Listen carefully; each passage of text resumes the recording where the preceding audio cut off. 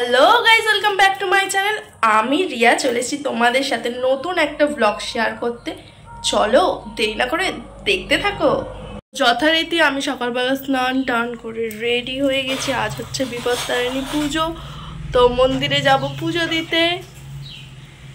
তো চলো, সেগুলো তোমাদের সাথে শেয়ার করি। এখানে মা এখন ঠাকুর ঘর পরিষ্কার করে নিচ্ছে, ভালো করে মুছে নিচ্ছে। এবারে এখানে পুজো দেবে, ঠিক আছে? মা স্নান টান করা হয়ে গেছে, হয়ে গিয়ে এবারে এখানে পুজো দিতে এলো।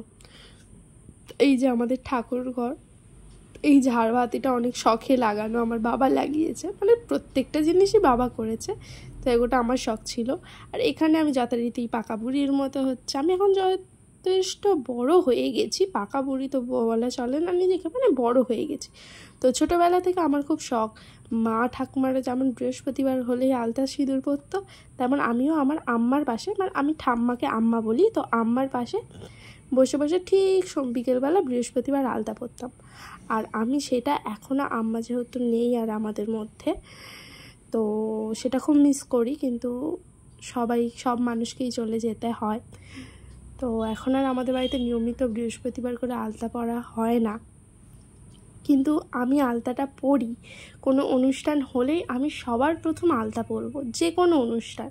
মানে কোনো যদি পূজা অর্চনা হয়, আমি আলতা পরবো। আমার আলতা পরতে এতটা ভালো লাগে মানে কিছু কিছু মানুষের হয় আলতা পরতে ভালো লাগে। অনেকে বলে আমার আলতা পরলে পা ফাটে, এই হয়, সেই হয়।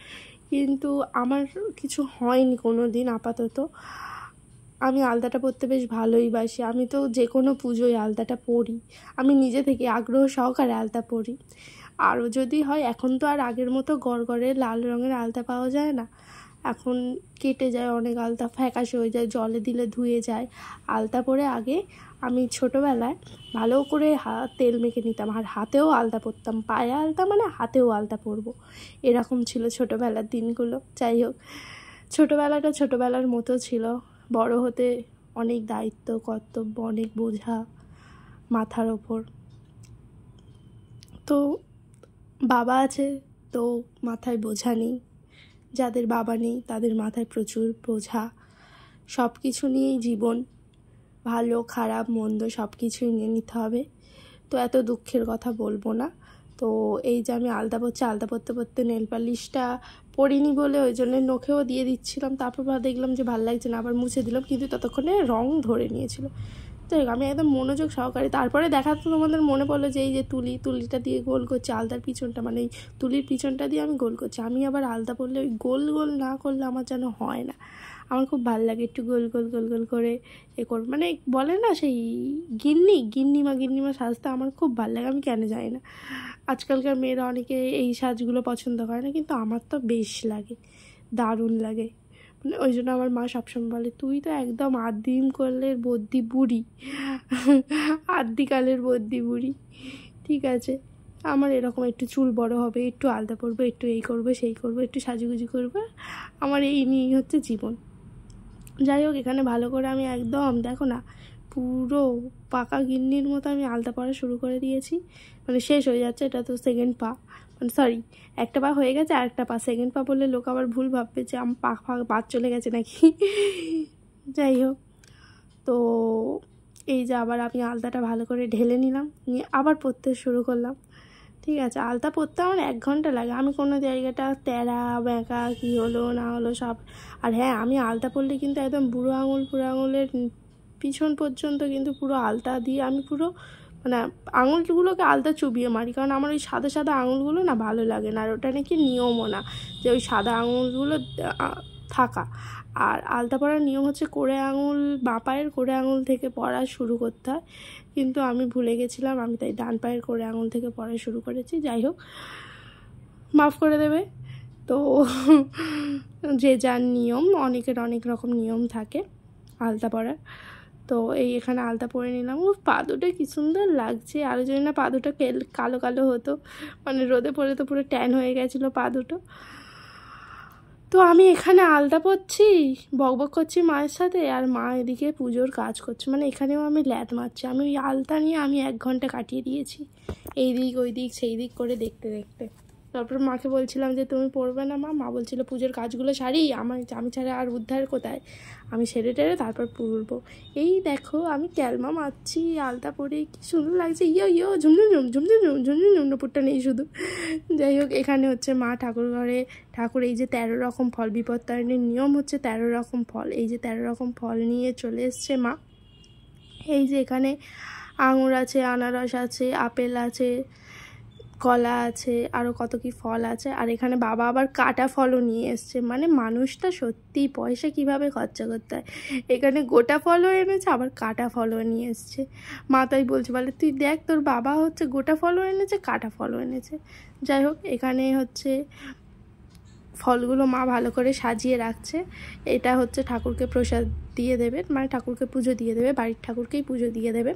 বিপত্তারিণী মায়ের অনেক নিয়ম আছে, সেগুলো হচ্ছে তেরো রকমের লুচি খেতে হয়, তারপরে তেরো রকমের ফল দেখতে হয় এটা একটা ব্রত কথা আছে। ব্রত কথাটা আমি শুনেছি, কিন্তু আমি তো আর অত ভালো করে বলতে পারব না। এইখানে দেখো দেখো, ফলগুলো দেখে নাও।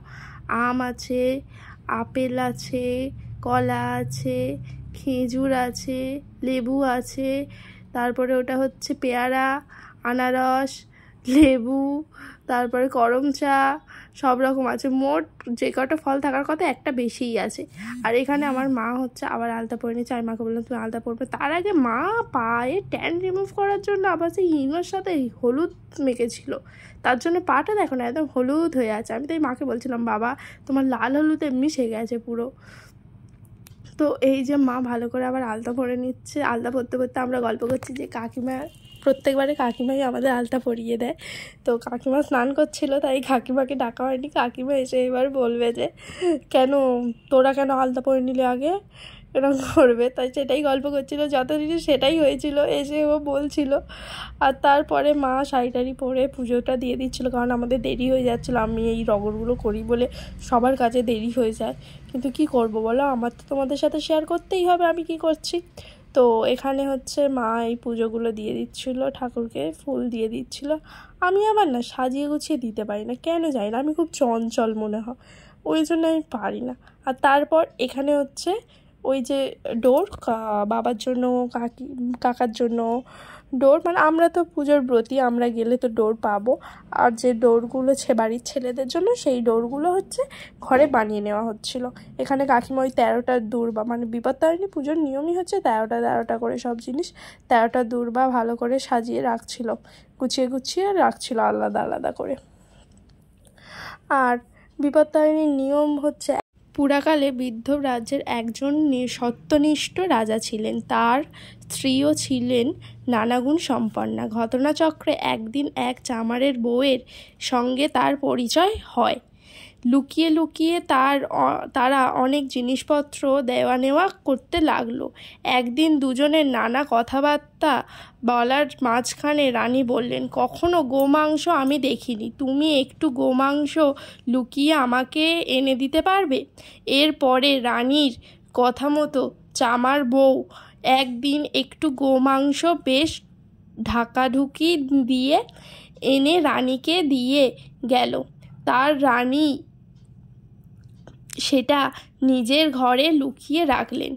ক্রমে কথাটা রাজার কানে গিয়ে উঠল এবং রাজা খুবই রেগে গেলেন। পরক্ষণেই তিনি অন্তপুরে গিয়ে রানীকে বললেন তোমার ঘরে তুমি কি লুকিয়ে রেখেছ, শীঘ্রই আমাকে দেখাও। তা না হলে তোমার গরদান যাবে। রাজা রাগ দেখে রানীর খুব ভয় হলো। কাঁপতে কাঁপতে রানী বললেন, আমার ঘরে নানা রকম ফল, মূল আর ফুলই আছে প্রভু। রাজাকে এই কথা বলার পর রানী মনে মনে মা দুর্গাকে খুব ডাকতে লাগলেন। রানী মনে মনে বললেন, মা বিপত্তারিণী, আমি আজ খুব বিপদে পড়েছি। আমায় শীঘ্রই আশ্রয় দাও। মা, এ বিপদ থেকে উদ্ধার করো। মা, আমি সারা জীবন তোমার ব্রত পালন করব। রানীর প্রার্থনায় দেবী সন্তুষ্ট হয়ে অভয় দিয়ে দিলেন, দিয়ে বললেন তোমার স্তবে আমি সন্তুষ্ট হয়েছি। তোমার ঘরে যা ছিল সেটা এখন ফলমূল হয়ে গেছে। তুমি এখন সেগুলো রাজাকে গিয়ে দেখাও। রাজা খুবই সন্তুষ্ট হবেন। মা দুর্গার কথা মতো রানী ঘরে গিয়ে দেখলেন যে, চুবড়িতে গোমাংসের বদলে রয়েছে একরাশ ফলমূল। রানী তখন সব এনে রাজাকে দেখালেন। আর রাজাও খুব সন্তুষ্ট হলেন। ক্রমে রানী এই ব্রত করতে লাগলেন ও অনেক সুখ ভোগ করে দেহত্যাগের পর স্বর্গে চলে গেলেন। তো এটাই হচ্ছে ব্রতের কথা। এটার নিয়ম হচ্ছে তোমার তেরোটা ফলমূল দেখতে হয়, তেরোটা হচ্ছে লুচি খেতে হয় তো এইগুলো হচ্ছে, আর বিপত্তারিণী ডোর, লাল ডোরের সাথে তেরোটি দুর্ব, তেরোটা গিট ওই দোরে বাঁধা থাকে, তো সেগুলো এক পড়তে হয়। তো এখানে আমরা রেডি হয়ে চলে যাচ্ছে এবার পুজো দিতে। এই যে ভিড় দেখো, ঠিক আছে? প্রত্যেকটা ঘরে ঘরে মায়েরা, সবাই মেয়েরা, সবাই এই ব্রত করে। তো এই যে ভিড়, আমরা লাইন দিয়েছিলাম ভিড়ে, যথারীতি মন্দিরে। প্রচণ্ড ভিড় হয়েছিল, যেহেতু সবাই করে না। আর এটা হচ্ছে রথের আর উল্টো রথের মাঝখানে হয় সোজা রথ আর উল্টো রথের এই পুজোটা। এই যে আমাদের ব্রাহ্মণ। তো এখানে পুজো দিচ্ছে। আমরাও এই পুজো দিয়ে দিলাম। সংকল্প করছে সবার নাম নাম নাম, গোত্র নিয়ে সংকল্প করছে। আর এখানে হচ্ছে আমাদের পুজো প্রায় শেষের দিকে হয়ে গেছে, সবার হাতে এবার ডোর পড়াচ্ছে। তো এই ব্রতগুলো মানে বাঙালিদের সত্যি অনেক বিপদ থেকে ভগবান রক্ষা করেন, প্রত্যেকটা বিপদ থেকে। আমাদের পুজো দেওয়া কমপ্লিট এবার আমরা বেরিয়ে পড়েছি।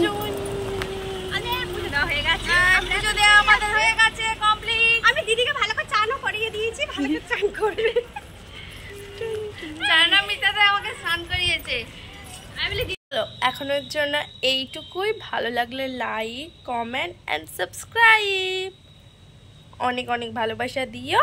পাশে থেকো, যেন এগিয়ে যেতে পারি। টাটা!